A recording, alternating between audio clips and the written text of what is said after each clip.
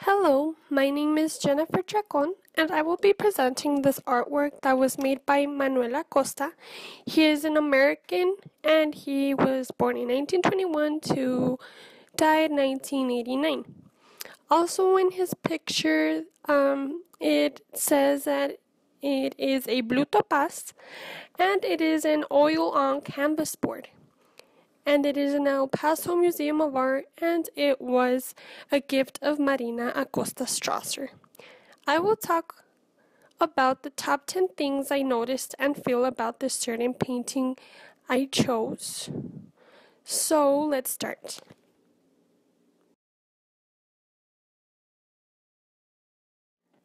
The top ninth thing that I saw in this painting was the texture of the woman's clothes.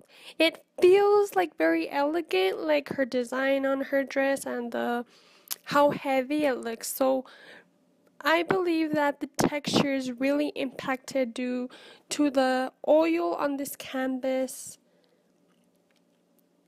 thing. I mean, I think you can really see the glow of the oil on the canvas, but I really think the texture does um get your eye in some way because it kind of makes it to me it kind of made it look kind of real. So i believe the texture was one thing that you could notice about this painting Okay, so the top eighth thing that I observed was that this painting is naturalistic because as you can see, a woman, her head and her arms and her shoulders are pretty much proportional. Um, she's the only person in the canvas or I mean in the painting, rather say however you want to. Uh, she's the only person in the painting and she has a lot of space. Um, you can also see that she has a very three look 3D dimensional structure. And I could opinion with my opinion I can say that uh, this artist also used chiaroscuro on her on her self image because you can see the darkness and the lightness where the light is hitting her and it's reflecting um, what um, what's farther away from the light in her face. So I believe that this painting is naturalistic due to these uh, simple factors. Top seventh thing that I observed was the neutral colors. Um, as all we all know, the neutral colors are black, white, and gray.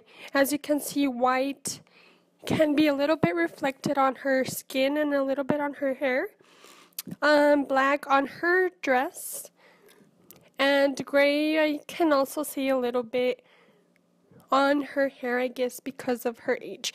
But yes, I did notice the neutral colors that are being applied into this painting.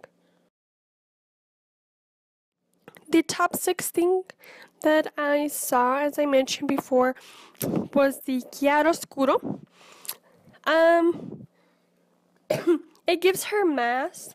It doesn't give her a flat complex on her face or her body. Um, I especially noticed the heaviness of her cloth because, I mean, you can see with the chiaroscuro that it gives it a, a, a mass also and that it just shows uh, pretty much that it's a fabric that's not just not any normal fabric. It's heavy fabric due to this chiaroscuro. So definitely, yes, I think and saw that this painting has some of chiaroscuro in it. The fifth thing that I noticed was the contour of things. um pretty much in this painting you can know uh the where things end due to this contour uh i pretty much just see how things are being contoured to bring in that um 3d face or 3d visuality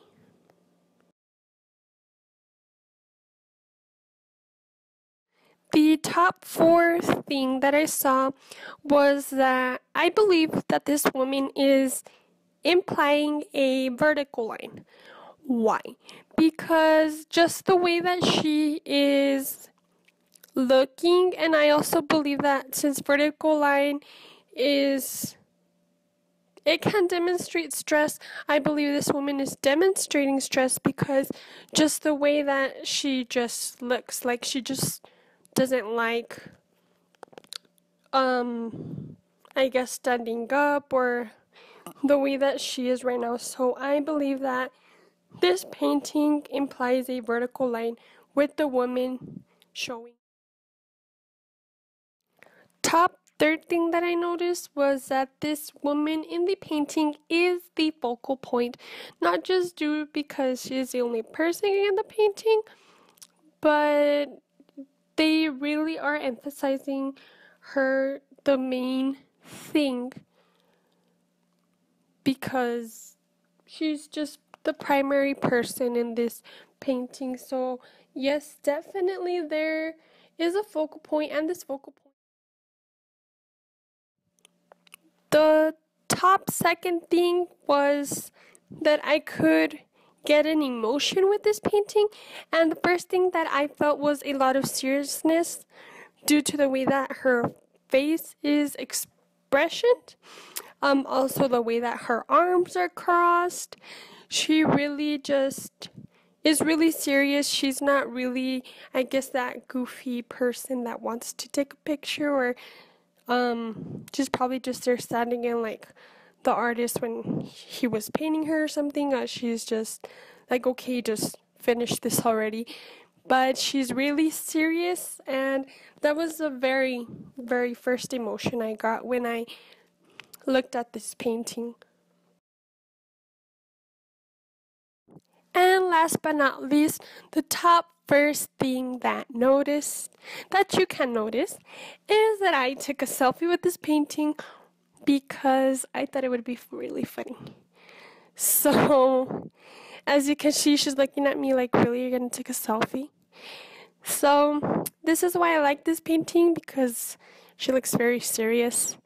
And I don't think people should be that serious. There's many ways to have a better looking face than that seriousness. So, that was pretty much of this presentation and I hope you liked this painting as much as I did and also thank you for giving me your time. Thank you.